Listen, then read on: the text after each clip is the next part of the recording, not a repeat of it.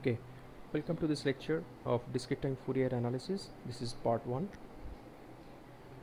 We'll be talking about discrete Fourier series, discrete Fourier transform, uh, rather discrete time Fourier transform, discrete Fourier transform and the applications of it. So today on part 1 lecture we will talk about this first two topics discrete time Fourier series and discrete time Fourier transforms. So now we will find out the proper techniques to analyze the signal spectrum. This is an illustration of the different signals and associated Fourier analysis techniques. So in the right column we can see that uh, there are four different categorical signals. Number one this is aperiodic and uh, it is continuous analog signal so the corresponding technique is the Fourier transforms to analyze the frequency spectrum. Similarly for continuous time analog and periodic signals we'll be using Fourier series to get the spectrum of the signals. Now the interestingly if we sample this first one that is continuous time aperiodic signal we will get the discrete time aperiodic signals. And the technique for analyzing the frequency spectrum of this kind of signal is called discrete time Fourier transform Similarly, if we sample the periodic continuous time signals, it will provide discrete periodic signals and uh, the corresponding technique is discrete Fourier transform. But discrete Fourier transform and discrete time Fourier series, these are somehow correlated to each other. And uh, discrete Fourier transform is most widely used for practical applications.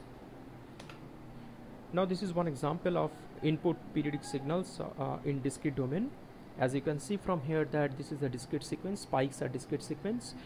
So uh, this this particular spike is again repeating here and it is followed by the same sequence ad, as it is uh, in the uh, previous section. So uh, this interval is called period period intervals for discrete time periodic signals. So now the analysis equation so discrete time Fourier series uh, is basically a block we can consider about. This block can be solved through analytical uh, solution process or it can be solved through computer programming. So we are now looking at the analytical equations involved in this DTFS block. So this is called analysis equation Ck equals to 1 by n summation n equals to 0 to capital N minus 1 xn and it is multiplied with a function exponential function. This is called the kernel function of DTFS where capital N is the period small k is the frequency bin index and capital F is the frequency in Hertz and this is the relation which uh, will help us to find out the relation between frequency bin index and frequency in Hertz so now one interesting property uh, DTFS coefficient belongs to that is uh, periodicity property that is c small k c suffix k plus n equals to ck that means the Fourier series coefficients also uh, a periodic sequence of the same period value as the signal is. As you can see from the analysis equation that ck it is asking for computing the ck values for all values of k from minus infinity to plus infinity for every integer values but now as uh, DTFS belongs to a specific category of periodicity, cat uh, periodicity category so we need to only compute the CK values within a particular fundamental range that is 0 to n minus 1 and the spectrum of the DTFS is discrete. As you can see that CK values are associated to each K values and all the K values are integers so the spectrum is discrete now we'll consider one example. Let's say X, xt is a input analog signal which is passing through a sample block of sampling frequency 4 Hz and then passing through a DTFS block. Now we are asked to compute CK coefficients and we have to plot the CK coefficient over a frequency range of minus 2 to plus 2 Hz as you can see that uh, input signal sine wave has a frequency 1 Hz so sampling frequency 4 Hz is sufficient enough to uh, capture the information of the input message. So these are the figures of both the signals before sampling and after sampling. After sampling we can see that uh, we have uh, these spikes which are in the sample instance. So within a fundamental range we have one two three four samples so capital N equals to 4 in this particular problem. Now xn the discrete time signal will, uh, will have a form sine in pi by 2 so if we put the value of sampling frequency within that equations continuous time signal function equations we will come up with this particular expression. Now ck is equals to analytical equation will takes the form 1 by capital N equals to 4 0 to 4 minus 1 and this is the kernel function. And we will only compute the ck values over the range 0 to 3 for k values. So this is uh, the input sequence. This is the analytical equation for DTFS of the signals. Therefore C0 will be 0 C1 is equals to minus J 0.5 C2 equals to 0 and C3 equals to J 0.5 so now as uh, the question is asking about the frequency uh, mm, asking about the coefficients over the range minus 2 hertz to plus 2 hertz. So we have to compute the associated bin index values. As you can see that uh, this is the relation between bin index and frequency hertz.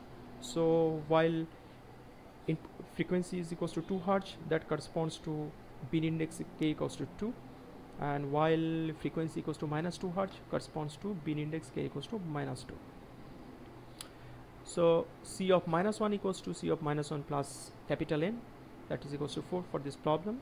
So this is c3 already we computed c3 value. So c of minus 1 equals to j 0.5 c of minus so similarly c of minus 2 equals to c2 equals to 0 so this is the amplitude plot. As you can see that is the magnitude value of the ck's over the frequencies.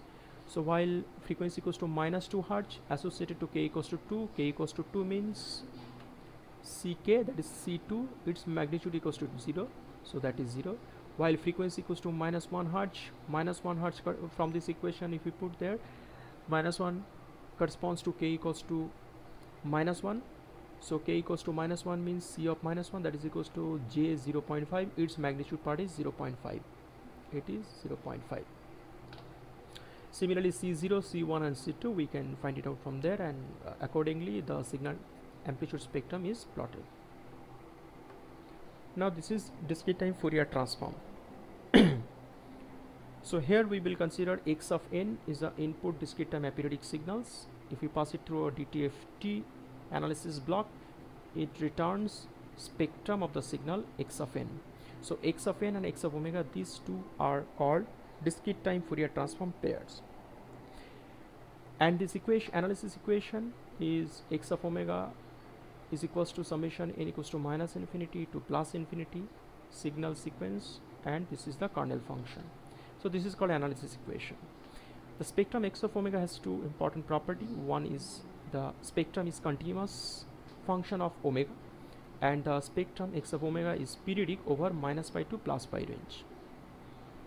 So as the function x of omega is continuous so while we will be get back we will get back the signal x of n from IDTFT block. So we will be using integrations instead of a summation. And as the signal as, as the signal uh, spectrum signal x of omega is periodic over twice pi so integration is carried over twice pi. And this is scaled by a twice pi factor. This equation is called synthesis which will return back spectrum to its time domain. This is one example of DTFT and IDTFT block so this will give you an idea about uh, how these two are correlated to each other. Input signal is a sample version of a continuous gate function. If we take its discrete time Fourier transform it would produce x of omega which has two component magnitude part and phase part. So magnitude part is essentially sinc functions amplitude values and the associated uh, phase part is this so if, if we recombine these two uh, different spectrum and uh, input to the IDTFT block it would return me the original x of n sequence in time domain. So how DTFT is related to Z transforms? Let's assume that xn is a signal and its Z transformation is x sub z. And this xz has an ROC which includes unit unit circle what it means that means over the unit circle z transformation of the signal is finite so under that condition we can compute the signals DTFT directly from the Z transformation. The condition is that you need to compute the Z transformation of the signals over the unit circle and that function is exactly same as the functions discrete time Fourier transform. So that's why Fourier transform can be viewed as a Z transformation of the sequence on the unit circle. The condition is the signal Z transformation ROC must contain unit circle within its ROC.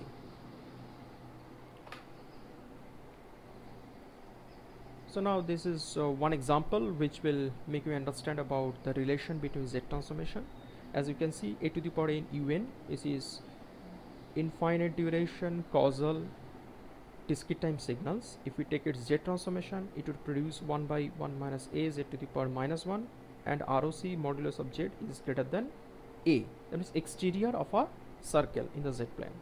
Similarly if we do analysis if we do analysis equation to compute DTFT of the signals we will find out 1 by 1 minus a e to the power minus j omega. So if we try to avoid this particular path then also we can compute this function x of omega directly from its x sub z function. How?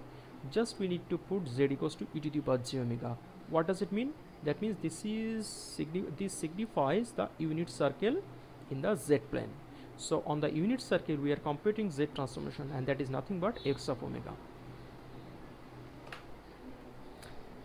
So how this DTFT and LTI systems related as you all know that if it is an LTI systems linear time invariant discrete time systems where h of n is the impulse response and h of omega is called frequency response. And these two are DTFT pair discrete time Fourier transform. What does it mean? That means if we apply h of n at the input of the DTFT block it would produce x h of omega. Now if input is x of n of our LTI system output y of n related in time domain in this by this equation that x of n linear convolution with h of n. Similarly if we take the spectrum of the input signal x of omega through DTFT and if we take the spectrum of the output signal y of n uh, through DTFT that is y of omega these two are related by a simple multiplication of input spectrum and the frequency response of the system. So this is a very uh, important concept to solve some practical problems so now we will be in the next slide we will be considering such kind of problem. Let's say this is one example. What is this? That means we are given a discrete time LTI systems by its discrete uh, difference equation. What is this? Yn equals to xn minus a y of n minus 1 where a value equals to 0.5 real coefficient. X of n signal is given that is a summation of 5 plus a sinusoidal component and it is asked what is the system output the very first step is we can develop the system transfer function let's see the system transfer function h of z takes the form 1 by 1 minus a z to the minus 1 and ROC exterior of a radius of a. So now we can compute the frequency response directly from there just simply putting z equals to e to the power j omega already we have seen in my earlier discussions. Now if we do that we have now h of omega. That is the frequency response. Now frequency response in general can have complex number uh, uh can have uh, imaginary and the real parts. So that's why we can uh, separate it out through our amplitude and phase component. So this h of omega mod is is the amplitude part of the frequency response and theta omega is the phase part of the frequency response of the system. Now let's talk about the input now we have to identify the input signal target frequency input signal input input signal frequencies. That will called as the target frequencies.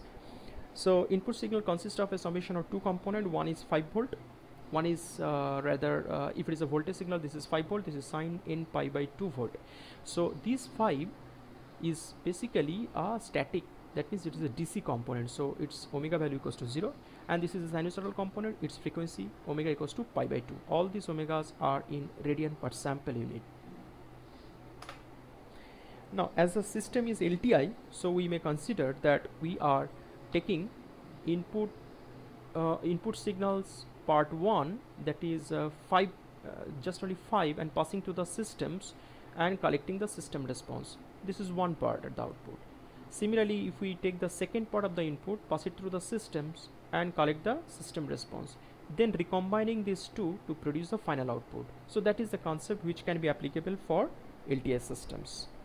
So now while input signal 5 is applied to the system system will offer a gain to this particular signal at a specific frequency omega equals to 0 because this signal's frequency component is omega equals to 0 similarly while input signal is signed in pi by 2 its frequency is pi by 2 so system will offer a gain to this particular signal which is specific to omega equals to pi by 2 so our target is to compute h of omega and h of h of omega for omega equals to 0 and omega equals to pi by 2 so if we compute we will find h of omega for omega equals to 0 equals to 2 and h of omega for omega equals to pi by 2 is this.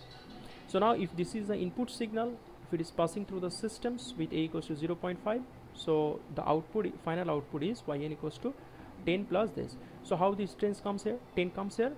So just look at back. 5 into this particular function h of omega omega equals to 0 as you can see h of omega omega equals to 0 it comes out to 2 so 2 into 5 equals to 10 similarly uh, sine of uh, n pi by 2 into h of omega at omega equals to pi by 2 omega equals to pi by 2 has two component. This is the magnitude part. This is the phase part. So magnitude part is basically altering the amplitude of the sine wave and the phase part is basically altering the phase part of the sinusoids. So, so this is basically 0.89 it's the magnitude of that into 1 of the sine wave and sine wave own phase in pi by 2 minus 0.46 so this is the final output. Okay? So thank you for this particular lecture part 1 of uh, Fourier analysis especially in the discrete domain. So in the next uh, part we will be discussing about discrete Fourier transform and uh, its associated problems